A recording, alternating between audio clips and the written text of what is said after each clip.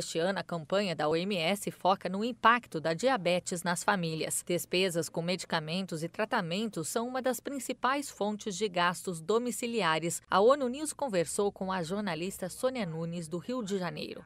Sônia contou que viveu esta experiência.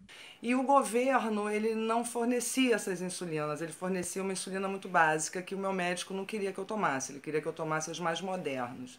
Então eu entrei com um advogado na justiça e ganhei o direito de receber essas insulinas e os insumos de graça pelo Estado. Apesar da diabetes poder ser gerenciada com medicamentos genéricos, dados da OMS indicam que gastos com tratamentos mais caros têm aumentado. O adolescente Theo Goldolfin, também do Rio de Janeiro, vai fazer 15 anos. Ele convive com a diabetes há três e contou à ONU News que medicamentos modernos permitem ter uma vida como a de qualquer outro de sua idade. Meu cotidiano é como se fosse de, de qualquer outra pessoa. Eu falo com meus amigos normalmente. Eu, eu vivo como uma pessoa sem diabetes.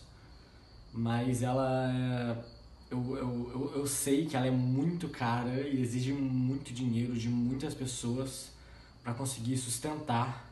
Eu, eu vejo, eu, eu sinto mal por saber que muita gente não consegue ter esses meios para eles. Da ONU News em Nova York, Daniela Gross.